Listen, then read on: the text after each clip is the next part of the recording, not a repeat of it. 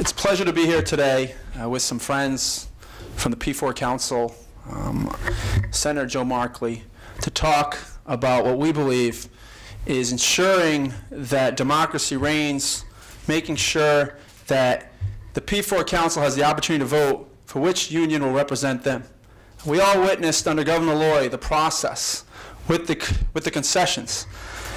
And what can happen during that process? When the unions voted down the concession package, and then quickly it turned to new rules uh, modified by the governor and a few people in a back room. The outcome was many councils had concerns over the result, which they believe uh, wasn't fair, the integrity would be questioned, and we're proud to be here today to really push the governor, the state, and the union to allow these members, the 2,500 members of the P4 Council, to have their day where they can vote and decide their future within the union. Um, and the unfortunate thing is, we're witnessing government resources being utilized to question them and to challenge their right and their choice.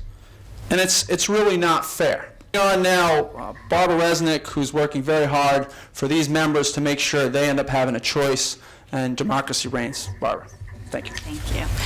First of all, I would like to just say thank you very much to Representative Coutu and Senator Markley for giving us this opportunity and for coming out in support of these members and thousands of other members who have also filed petitions this year to be granted what, in our opinion, is a fundamental, basic American democratic right to have an opportunity to decide who it is that represents you.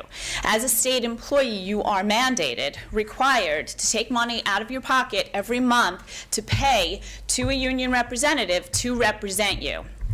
And to be denied the right to ever have an option to, choose who that representative is is fundamentally un-American, fundamentally unfair. Speaker, um, and, and let's be very clear. We're talking thousands of state employees are looking for the opportunity to vote to choose which union will represent them in the future. Uh, I will must admit there are other members from other councils now that are reaching out to me, which is an interesting uh, dynamic, uh, and asking me, can I speak to their members? Uh, which is great because this is all about democracy. And we know the process. We have rules, statutes, and a constitution that we have to follow. And these members have followed all the rules. I feel like I'm getting too much practice at witnessing outrages in this state. And I think this is another one. And what bothers me about it is uh, that one of the keys to having a healthy situation with unions is not to have the government putting its thumb on the scales. And that's obviously what's happened here. It's become an interest of the state government to choose uh, to support one union at the expense of its very membership. And as you heard, at the expense of the rights of its membership to make decisions about their own future and where their own funds will go. And I feel like the legislature, to some extent, has been hoodwinked in this process.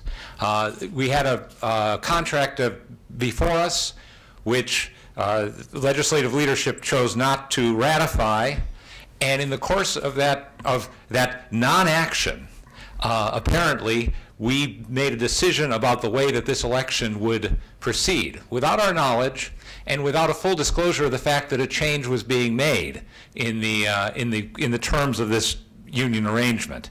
Uh, it's a very suspicious, a very disturbing relation, situation, and I think particularly the fact that, as Chris said, state resources are being used to pay private attorneys to fight against these union members' rights to make their own decision.